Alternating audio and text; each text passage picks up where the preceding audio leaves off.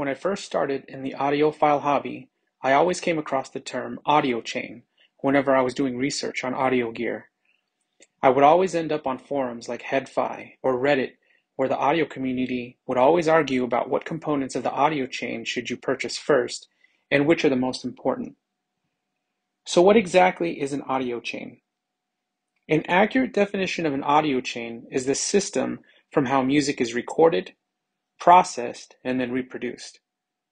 But in relation to audiophiles, I want to skip music recording and music processing and focus on the last part of the audio chain, which is sound reproduction. Sound reproduction is the system that allows recorded music to be played back with a high degree of accuracy, with minimal distortion and no loss of detail. In the case of sound reproduction, the audio chain is the high-fidelity playback system consisting of different audio components. Each component should be of high quality since each can have a significant impact on the final sound, and research should be done to ensure each component works together with the others. The playback system must be capable of providing an immersive listening experience by reproducing a wide frequency range, from low bass to high treble frequencies, and reproducing high dynamic range, which is the difference between the softest and loudest sounds in a piece of music. At a high-level view, the three main components of a sound reproduction system is a music source, an amplifier, and speakers. I'll break these down. The music source is the component that provides the recorded music to the playback system. Common music source components include CD players, turntables, music streaming devices, a digital audio player or DAP, or even a laptop that plays local music files. Let's say you're building your sound reproduction system with a turntable as the music source, which plays vinyl records. You've done your research and decided to buy the Pro-Ject E1 turntable. But there's a problem. The output signal from a turntable cartridge is low level, so a phono stage, also known as a phono preamp, is required to amplify and equalize the signal before it can be sent to the amplifier. The Pro-Ject E1 does not have a built-in phono preamp. You'll need to buy a phono preamp like a Pro-Ject PhonoBox DC to boost that signal before connecting to an amplifier. So now your audio chain has your E1 turntable connected to your PhonoBox DC phono preamp and it's ready to be connected to an amplifier and speakers. An alternate solution is to buy a turntable with a built-in phono preamp, like the Audio-Technica LP60XBT. This bypasses the need to purchase a separate phono preamp component. Or there's a third solution, which is to buy an amplifier with a built-in phono preamp like the Cambridge Audio AXA35. What if you want to build your playback system with your laptop loaded with high-resolution music files as your music source? Your laptop will need a digital to analog converter, or DAC, to convert the digital signal from your music files to an analog signal so it can be sent to the amplifier. Your laptop will have a built-in DAC, but since you want a high-fidelity sound reproduction system, you'd want to buy an external DAC, like the Cambridge Audio DacMagic 100. So your audio chain will have your laptop plugged into your DacMagic 100 and you would connect that to an amplifier and speakers. An alternate solution is to buy an amplifier with a built-in DAC like the Cambridge Audio CXA81. This option lets you plug your laptop straight into the CXA81 ready to be connected to speakers. You've got your music source and now you need an amplifier in your sound reproduction system.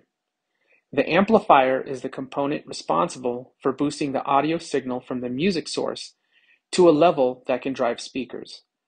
It provides the power, or amplifies, the signal to ensure it's clear without any distortion. We've talked about amplifiers that have a built-in phono preamp, like the AXA35, or the CXA81 that has a built-in DAC. Another option to consider is an amplifier that has both a phono preamp and DAC built in, such as the Yamaha AS801.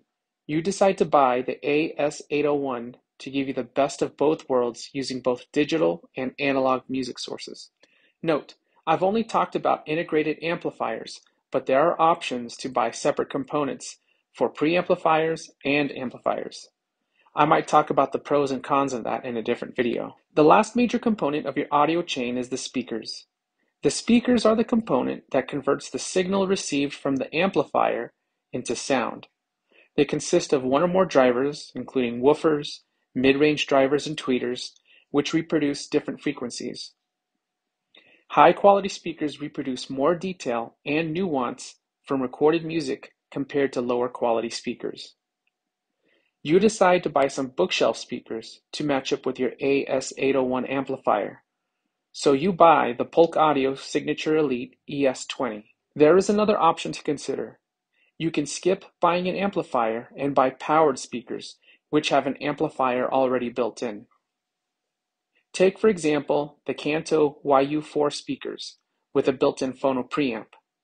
With these, you have your phono stage, amplifier, and speakers all in one component.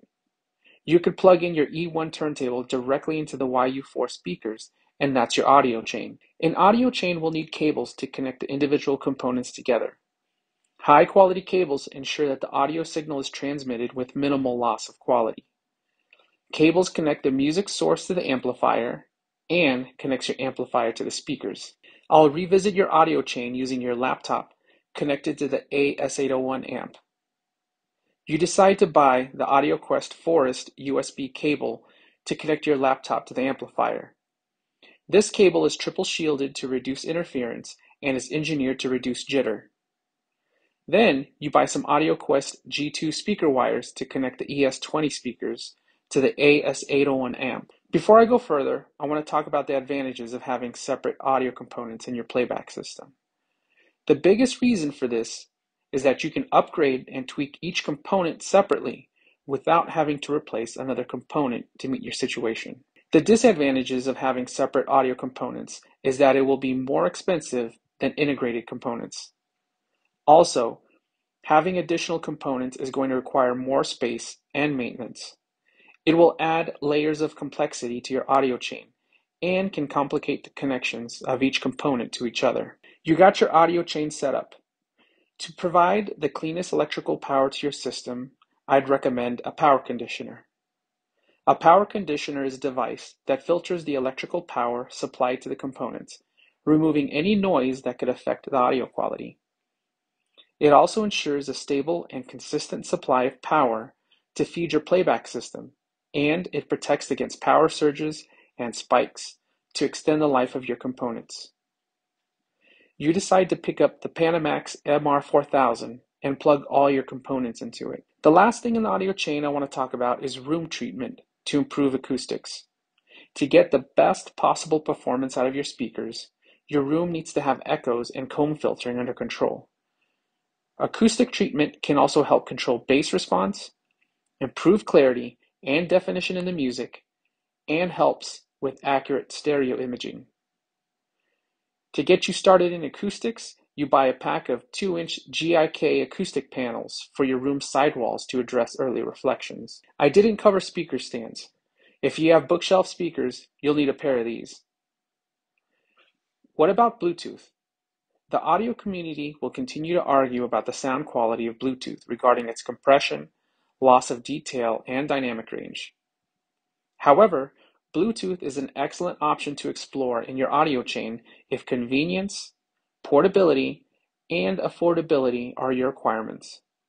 I would throw Wi-Fi and AirPlay in the same bucket as additional options that are available out there now. I always have to give props to audio guys who are way more knowledgeable and experienced than me. So go check out Randy from Cheapaudioman's video called Beginner's Guide to Building Your First Audiophile System. He's been in audio since the 80s and he provides some great stories and insight. His channel is high quality, and I always rewatch his videos. To summarize, an audio chain or a playback system is a type of system that is designed to reproduce sound with accuracy and detail, with little to no noise and distortion. The common components of your audio chain will be a music source like a turntable, an amplifier, and speakers. Remember that your system should be designed to deliver high quality sound production for an immersive and enjoyable listening experience for your ears. not anyone else's ears. And it should always reflect what your situation and needs are. Thanks for watching this video.